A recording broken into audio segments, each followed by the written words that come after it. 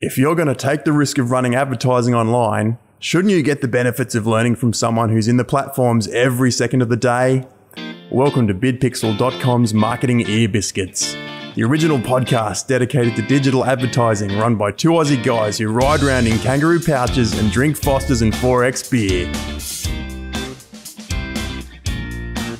Hey guys, it's been a little while. Uh, honestly, Jay and I have been under the pump over the last couple of weeks. And while we've had a few guests that have come into the podcast and we've had a, a good chat with like JD and Josh Remington, we have neglected the purpose of why we started this podcast a little bit, but it's been for the greater good of BidPixel and building the agency, right? So um, you all know Jay. Jay, hello.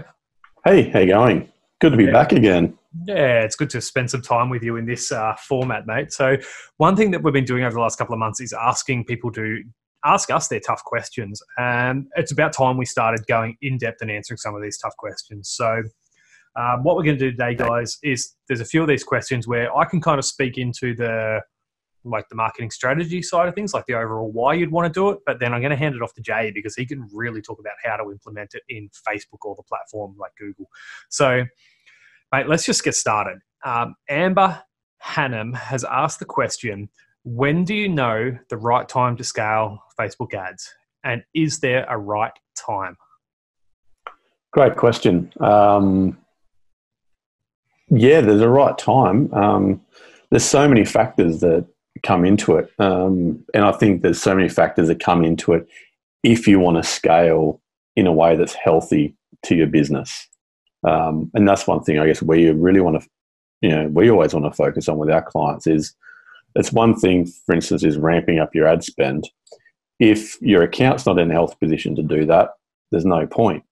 There's also you know, the other on the other hand, we can ramp up the ad, ad accounts in a healthy position, but the back end systems of your of your business are in a healthy position to do it. You you don't have your fulfillment, you know, your dispatch and fulfillment set up. So, in terms of the right time to scale, I would say look at it holistically. You know, first off, is your business set up to scale? You know, do you have the systems and processes in place to handle increased purchases, increased inventory, increased staffing, um, the needs that come along with you know a higher revenue business. Do you then have you know the dispatch you know, you know areas of the business? Do you, do you have people? You know, are you fulfilling in house? Are you drop shipping? Are you printing on demand in house? Are you using an external company to print for you? Like all of those things, you know, are they in place and are they ready to go? Do you have the cash flow to um, you know, if you're expecting an influx of 100,000 sales where you've only been getting 1,000 sales, do you have the cash flow to bankroll getting those products, you know, made for you or sent to you ready to go? Um, yeah, that's probably the first thing I would look at. So that's all like the business process side of things. So we've got plenty, yeah. of, plenty of customers that get stuck in maybe the pre-order cycle, or plenty of customers that get stuck in the labor side of things. They just don't have the labor to scale. Um, I really want to hear from you though on the return on ad spend metrics and what happens to an ad account, so a Facebook or Instagram ad account. What happens to that typically when you try and scale? Yeah, perfect. So on the ad account, so there's a few key things we want to kind of that we look at. One of them is consistency of on the on on the ad account, and that's positive consistency. So the ad accounts constantly has a healthy return. Um, there's you know a fairly you know there's regularity in terms of how many purchases a day, a month, a week um, that the account's getting, and also consistency around the cost per purchase, um, and and that it's also well above what the minimum returns need to be. So, you know, can I speak onto that for a second? So one of the one, we'll put a link into description of the the podcast and the vlog. But one of the things that we do very religiously with customers, make sure that you understand what your break even return on ad spend is, and I've been finding more and more people just don't get a sound understanding of this. So, what is a return on ad spend? For every $1 you spend on advertising, it's how many dollars you make in return. So most businesses, e-commerce wise, maybe two and a half times return on ad spend is like a litmus test of a, a break-even return on ad spend. So for every $1 they spend, they need to make $2.50 just to recoup their costs on product, wages, advertising, those sorts of things. Yeah. That gets more complex when you start charging, man- agencies charge management fees, and there's multiple complexities there. But one of the things that will generally happen, and I'm sure Jay, you'll speak into this a bit more, is if you don't understand your return on ad spend break even point, it's very hard to judge a good time to scale. And if you start scaling, you find that you go backwards and you literally you're pumping more money into the business just to break even or not going anywhere. And it becomes pretty obvious pretty quick that there's no money left in the bank. So what's one of the big things, mate? So one of the big strategies of scaling an ad account is introducing more people to a brand. So a top of funnel yeah. awareness strategy. Now, what generally happens to a return on ad spend metric when you start scaling awareness to get more people involved in the business? Um, so yeah, so getting more traffic is a huge thing. Like how do you, literally you can push into top of funnel and brand awareness um, style objectives where you're getting in front of a lot more people um, and then really starting to strategize the the progression from from when somebody hears about you for the first time um, strategizing the path from hearing about you the first time right through to becoming a, a customer and then back again to repurchase in the future. Cool. Um, so yeah, that's where we kind of we start to, to blow out each section of that funnel, um, which is probably the more the, you know, the marketing term. You know, expanding certain sections of the funnel, diving deeper into certain sections of the funnel. You know, we can expand on the middle of funnel audiences or really segment down the top of funnel audiences and, and niche down to specific demographics and specific audiences in in all that, and then test it and test and measure as we go. There's been some really naive sort of fundamentals in Facebook advertising for a long time where you can you see all these people that say they get an amazing return on ad spend but a really high inflated return on ad spend is generally and I'm generalizing here, you'll look deep diving into it, and it's usually a retargeting style strategy that's going to get a better return on ad spend. And unfortunately, if you don't have more traffic coming to the website or new people getting introduced, introduced to the brand, you can only scale a retargeting or remarketing strategy so far before you exhaust your audience. So, a true test of when is the right time to scale is can you put hundreds, thousands, millions of people into the top of your advertising strategy funnel and successfully convert them into a purchase at some stage, middle or bottom. And if you aren't ready to do that, and if you can't do that successfully, then it's not the right time to scale. Absolutely. So a real world scenario, I guess, is is scaling a remarketing campaign, and and like you said, is a remarketing campaign might, for instance, have a ten times return, and it's really great. But you know, there are people that have been on the website that added to cart, they've had a very clear interest. You know, you, you then measure the, the frequency of um, of ads that are being delivered to those people. If, for instance, you're getting, you know, you look at, say, Shopify and look at how many people have added a card in the last 30 days, and say it's 300 people, you can spend $10 getting in front of those people, or you can spend $1,000 getting in front of those people. The number of people doesn't change if you're purely focusing on remarketing. You're still getting in front of those same 300 people. You can up the ad spend. As a result, frequency will go up but your CPMS will go through the roof. Um, and really, there's only going really be the same amount of people in that audience that are going to purchase anyway, which is why we want to focus on getting your brand out there and the brand awareness and filling the top of the funnel. Hey guys, I just wanted to take a moment out of the content that you've been consuming right now and just discuss this promotion that BidPixel's doing currently. So for Q1 of 2020, so January through to the end of March, we're actually incentivizing you and we want to know what your toughest marketing or advertising question is. Now, we want to hear those questions on our Instagram account, so commenting on any of our posts, or our YouTube channel, commenting on any of our current videos, or in fact, any of the videos on our channel at all and we will go through and read those questions and use them as a basis of our content for future videos and pieces of content that we're making. Now, marketing is a transaction, right? You need to give and take to get someone's attention. And while we're asking you for these tough questions, we know that we need to give you something in return. So, what we've devised is an outlandish prize of $50,000 cash to go towards your next marketing or advertising campaign. Now, we've had some feedback from this already, and some people think it's a little bit too good to be true. But I just want to take this moment out of the content that you've been listening to to give you some assurance and give you a bit of an understanding of where that $50,000 cash is coming from and let you know that it's completely above board and legitimate. So, within Australia, you've got the ability to do an insured prize sum. Now, while we don't have the $50,000 to give away, we use an insurance company to say that there is a game of chance involved and the winner will get the chance to spin a wheel and if they spin the lucky number, like if you're old enough and you remember Hey Hey It's Saturday and Pluck a Duck and the big chocolate wheel, if you spin the number and win, you get a genuine $50,000 cash to do with it as you choose or to spend it on advertising.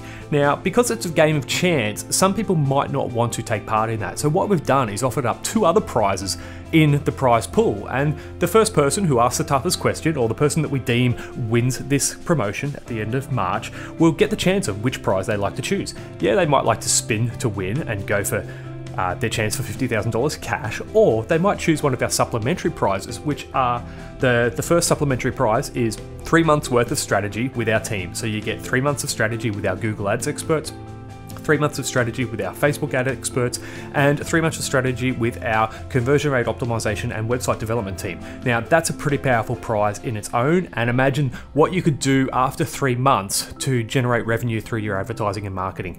Now, if that doesn't float your boat, we've also got a locked safe. Now, you can barely see it up on the screen here, but up on my shelving that you'll see in a lot of our videos is a safe that says win me and it's actually been locked for quite some time now. The contents of that safe in November and December alone earned two of our customers over half a million dollars worth of sales online. So like I said, marketing is a give and take mentality, right? We want to take your tough questions and we want to answer them. And that's a selfish motive from us because we want to use those questions that you ask to then generate more valuable content for other people to consume. But we know that we need to give you something in return. And the reason why we're going outlandish with the $50,000 cash is we want to make it worth your while to take time out of your day to ask us a question. So that's it. That's our little internal ad as part of the content that we've just pushed out. I just want you to know that yes, it's a legitimate $50,000. We want you to have the chance to win that or one of the other prizes that we're offering. And all we need in return is for you to ask us a marketing or advertising question that you genuinely want to find out an answer for. Uh, Thanks heaps. Let's get back to the content that we're talking about at the moment. And if you did want to take part in this promotion, just go to bidpixel.com forward slash questions and there's all the information you need there. Cheers, guys. So, as a blanket rule, Jay and the team generally try and run if we're scaling an ad account aggressively and we need to introduce people to a brand and everything converts as it should, right? So the education and motivational stage of things happened, the making them problem aware or situational aware at top of funnel works and progresses down.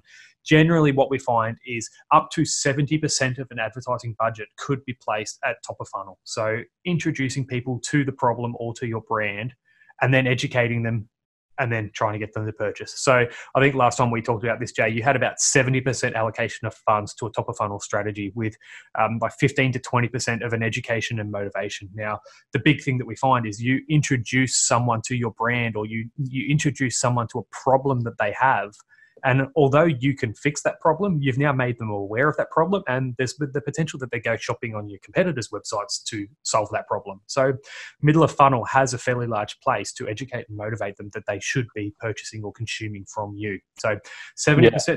70% top of funnel, 20, 25% bottom, uh, middle of funnel, 5 to 10% bottom of funnel. And then I'm going to segue this fantastically into the next question which I'm skipping a heap of questions that we talked about before, we went live. And the next question is from Bedilia, which is a uh, ethical fashion brand that we've been uh, known of for a little while now. Um, their question is, what is the best way to split test and recognize a winning ad audience? That's actually not the question that I'm supposed to go to.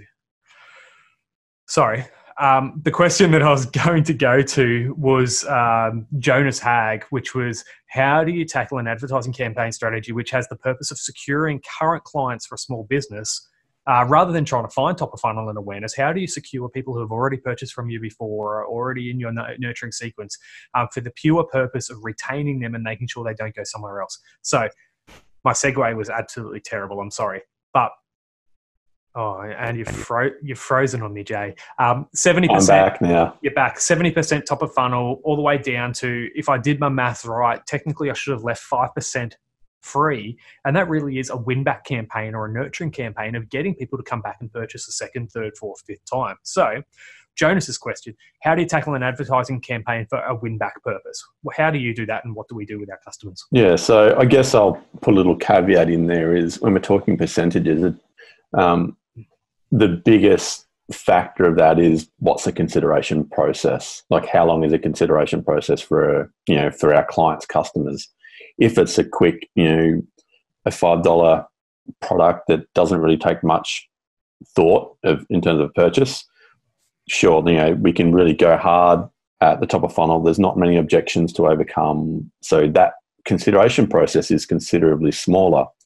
If we're going off, you know, if the client sells aluminium, you know, aluminium pergolas and swimming pool fences and that sort of stuff, then the consideration is obviously a lot longer because they're talking about a 15, 20, 30,000 dollar purchase. So there's a much longer period.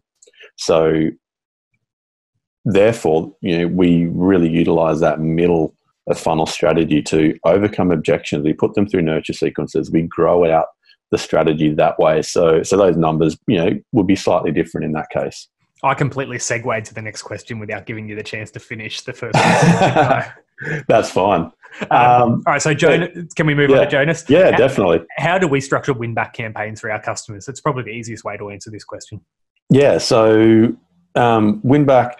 Um, I would say again depends on depends on the product. You know, we we're not a cookie cutter agency. You know, we really want to have have individual strategies, but some things we look at are um, the value of the client. So, you know, are they a recurring client? You know, in Shopify, we can see what the returning customer rate. You can pull down how many times someone's purchased from your store. Um, you know, put them into a VIP list. Um, you know, people that have you know purchased more than five times, or more than ten times, or twenty times, or people that have purchased more than five hundred dollars or thousand dollars worth of products.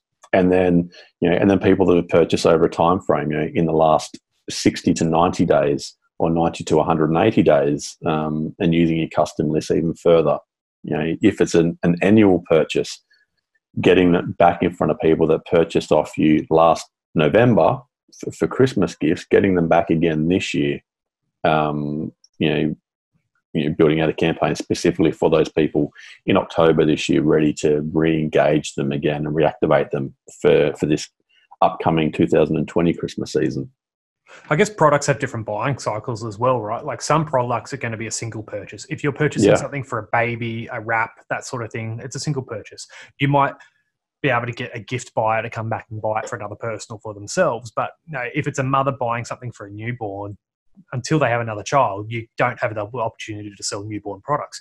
Um, someone like uh, Dr. Pickle's body wash that I've got up here on the shelf, or Podbiotics coffee, right? Like they're a consumable product. And I think you need a smart strategy and you need to start learning what the buying cycle is. Like if you sell a 10 pack of coffee to someone, how many days does a 10 pack last? And when should you be targeting them again? And your Facebook ad strategy can be built fairly robust and smart about retargeting ads based on time from purchase and conversion and start taking them through a journey or upselling and cross-selling them into another product.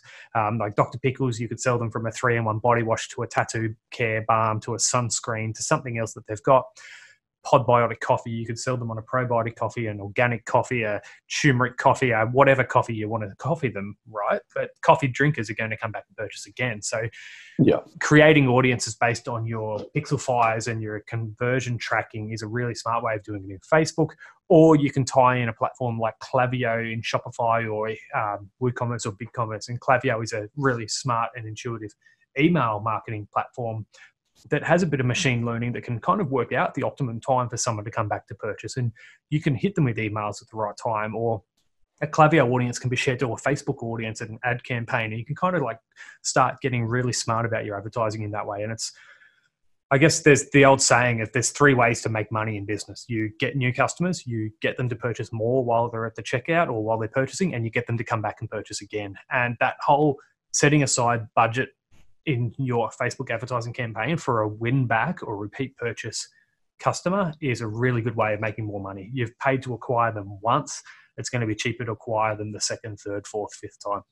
Absolutely. So, virtually, when you're getting someone a second time, you remove them from the need for a top of funnel audience and you remove them from the need of a middle of funnel audience because they're already aware of your brand, they're already product aware, they're problem aware, and they've overcome all those problems once before. They're purely remarketing. So, it's cheaper to get them to purchase again than what it is to get somebody to purchase the first time. 100%. And if you've ever bought something from Kogan or any of those large big box retailers, you'll see the ad sequence that you go through afterwards, which is it's almost targeting you with similar products or like minded products or accessories. Like when I bought the GoPro for BidPixel the other month, like we then got targeted with all the accessories for the GoPro and different things for that for that camera. And there's really clever ways that you can do it if you do it well. And if you don't know how to do it, reach out to your agency or someone like Jay and just get some good advice on how you can make money while the sun shines. Or I guess is that a decent analogy, right? Absolutely. Cool, mate. There was like five questions. We just answered three of them, and we've done 22 minutes of talking. So let's just wrap this one up, man. Yeah, sounds um, good. So Amber and Jonas Thank you very much for your questions, guys. If you have a tough question, ask it in the comments below. Our team crawls all the comments, gives us a list of them. Mate, we've got probably about 150 questions that we need to answer. So we need to actually get cracking on this. I'm going to do some of them as a solo version. I'm going to get uh, some of the team in. I don't want to take your time all the time. But, you know, Craig, Scott, Karen, Pauline, Stephen, like I'm just reading now, like um, Sarah from Bell Fever. I'm going to answer your question, Sarah, because I want to work with you. Um, there's heaps of questions here. Papermate Solutions, uh, Bedelia. I need to get back to you now because I started asking your question and I realized it was not the right one. Jackie, Magda, Michael, we've got tons of questions. So, guys, ask your tough questions in the comments below. Jay and I or one of the team will help try and get through and answer these questions. And just by asking a question, you can go in the draw to win $50,000 cash, the contents of a locked safe, or Jay and the team will grace your presence for a couple of months and help you with some strategy to get some of these tough questions actually implemented onto your own advertising accounts. Sounds great. You got Kaiser home today, mate. I can hear. I do. Yeah. Ah, yeah. family days, fun. Yeah. All right, mate. Thanks heaps, hey. Bless you. Thank you for your time today. I'll let you get back to doing what you do well, and that's making money for our customers. no worries. Thanks Cheers, for your man. time. Cheers. Bye.